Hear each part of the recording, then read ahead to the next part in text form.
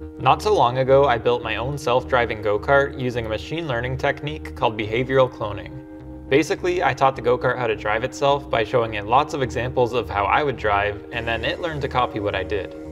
One of many struggles with this project was that each time I wanted to test a trained model, I had to pack up all my gear and go to a local park. I chose the park to be the designated testing location because its walking path made for an ideal track, but the constant trips, worrying about the weather, hoping the path wasn't being used, and having to worry about kids going through my camera gear made testing frustrating.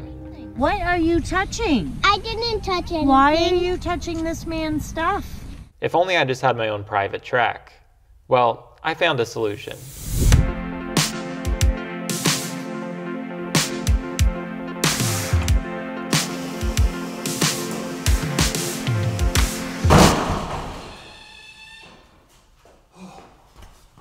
This is a crazy cart that I modified a few years ago.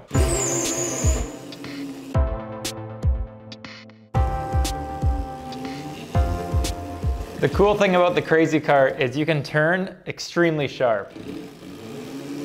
I can basically stay in the same spot and turn around in circles. Woo! this makes it surprisingly easy to navigate around my workshop. My plan is to borrow the self-driving hardware from the test cart and fasten it to the Crazy Cart. I then want to create a track on my floor and train the Crazy Cart to drive on it. This is going to be fun. For the vehicle to steer autonomously, it's going to need a steering motor. The plan is to attach a sprocket to the front fork and securely mount the wheelchair motor to the frame. A 10-turn potentiometer will provide position feedback, effectively turning the wheelchair motor into a giant servo motor. The first step was fastening the sprocket to the steering fork.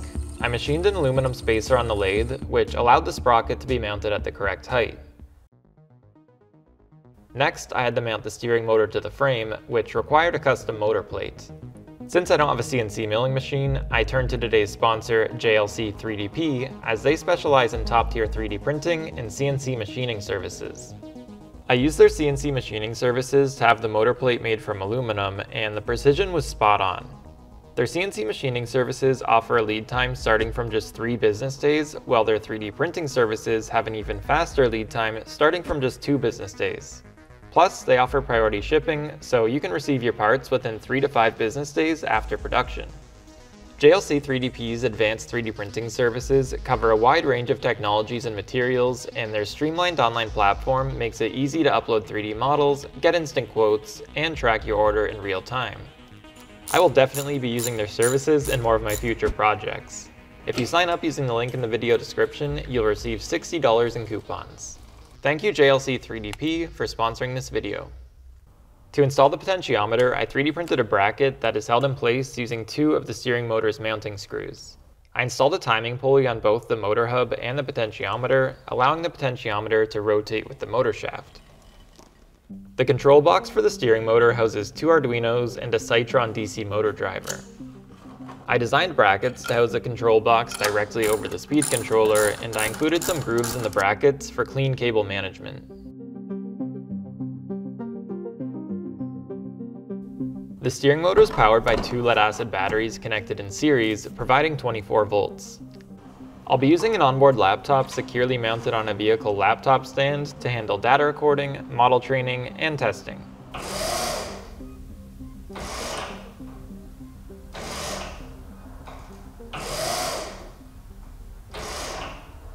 To protect the laptop from any crashes, I welded together a front bumper. Mounted on the bumper is a webcam, which provides the visual input for the model to analyze and make steering decisions. The webcam is the only input used for steering, there are no other sensors on the vehicle, it's all vision based. To make the track, I'm going to use this 3 inch wide black and yellow floor marking tape. I chose it because its width and high contrast stripes should help the model easily recognize the edges.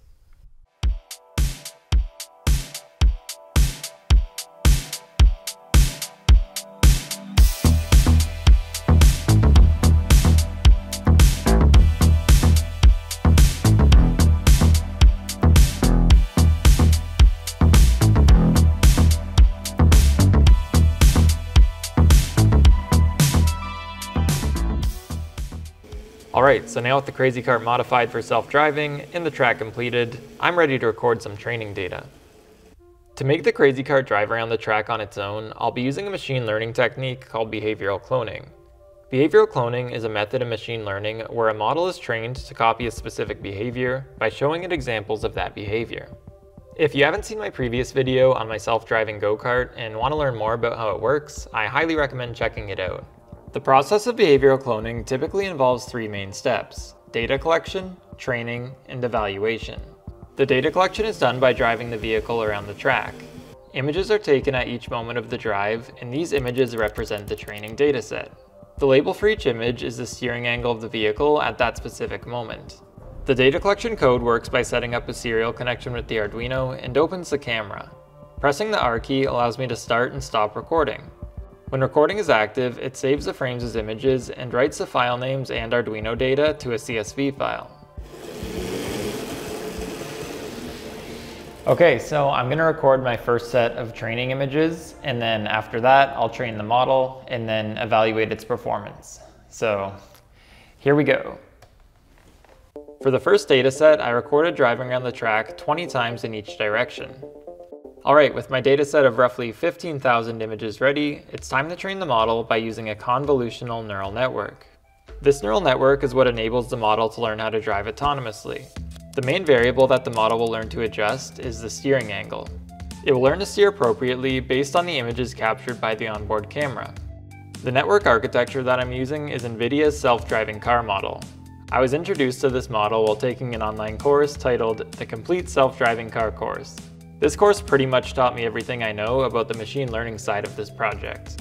Before the images are fed into the neural network, various image augmentation techniques are applied and the data is pre-processed. Augmentation techniques like zooming, panning, flipping, and altering brightness increase the variety of the training data. This helps the model learn to handle different driving scenarios without requiring more real-world data. My first test was a complete failure thanks to a faulty potentiometer. So here's test number two. All right, test number two.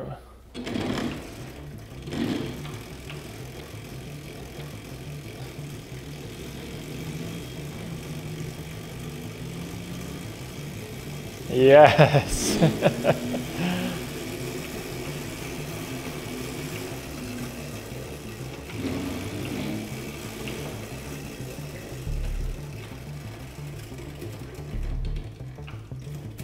okay, it does not like that corner. Whoops. For a second attempt, this wasn't too bad. It could sometimes make it around the track if I went super slow, but it was not reliable, especially at slightly higher speeds. Try going faster. Oh. Okay, I need to train some more models. All right, test number four.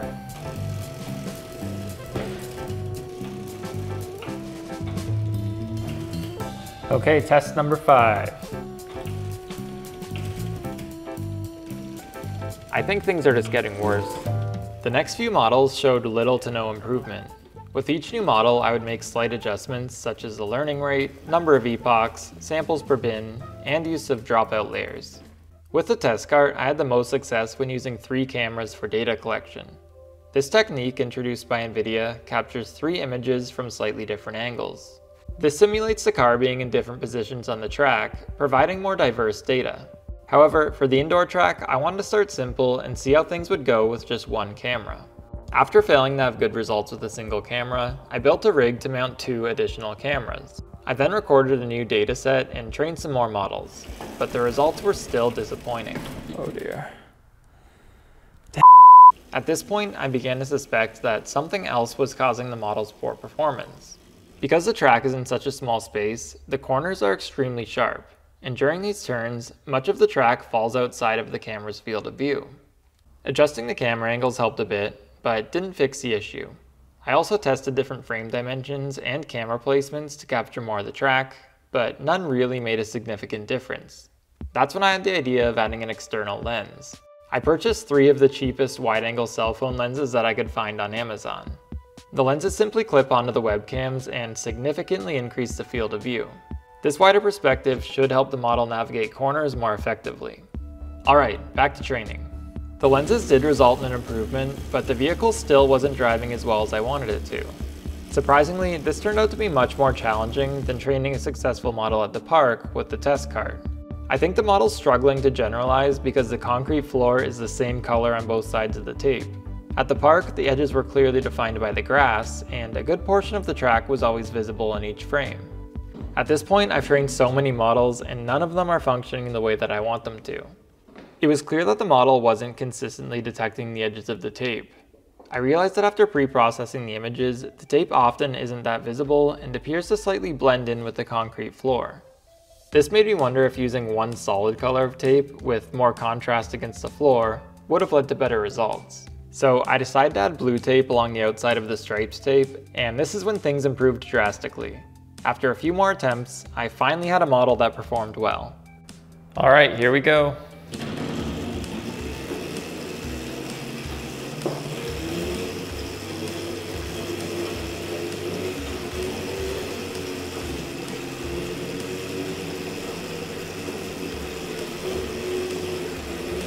Had the most success when using a combined dataset that included images of only the stripe tape, as well as images with the blue tape. I was also able to train a successful model using images from just one camera. Right now, this is technically just self-steering, as I'm still controlling the throttle using the foot pedal, but I want this thing to be able to drive around autonomously. To achieve this, I made an Arduino circuit that connects to the throttle input of the speed controller. This allows me to switch through different speeds when running the self-driving model. Speed 1.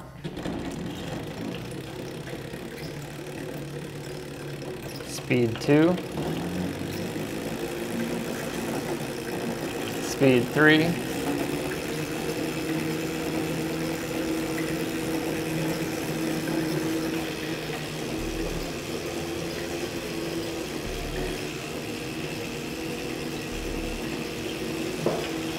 Try speed four. Oh, whoa, whoa, whoa, whoa, whoa, whoa, whoa. It's scary letting this thing drive on its own. I feel like I'm potentially sacrificing my laptop every time I test it.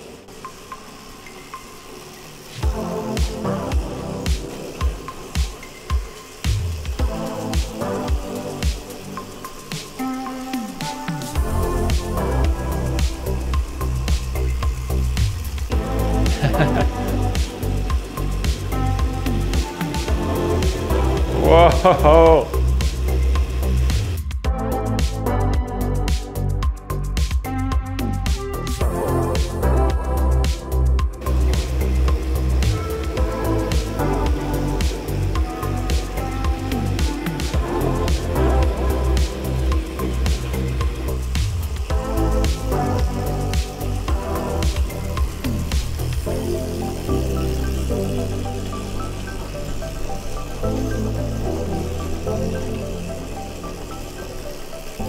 Now let's talk about how the self-driving code actually works. The self-driving code works by setting up a serial connection with the Arduino and loads the pre-trained model. It then captures video frames from the camera, pre-processes each frame, and then feeds it into the model to predict the steering angle. The steering angle is then mapped to a value between 0 and 255 and sent to the Arduino. The Arduino then takes this incoming value and sends it as a PWM signal to a second Arduino. The second Arduino reads the potentiometer value and PWM signal and uses a PID controller to compute and provide the appropriate output. That output is then transmitted as a PWM signal to the Cytron motor driver, which moves the steering shaft to the desired angle. This project was a lot of fun, although it did take me a lot longer to complete than I had hoped. I ended up training over 100 models, trying to get one that was reliable in both directions. Thankfully, my laptop survived all the crashes, but unfortunately one of my camera lenses got all scratched up. I wanted it to be able to drive faster, but it's just too unreliable at higher speeds. If it makes one mistake and drives off track, it just crashes into everything. If you enjoyed this video and want to support the channel, consider subscribing or joining my Patreon. Thanks so much for watching, and stay tuned for more exciting projects.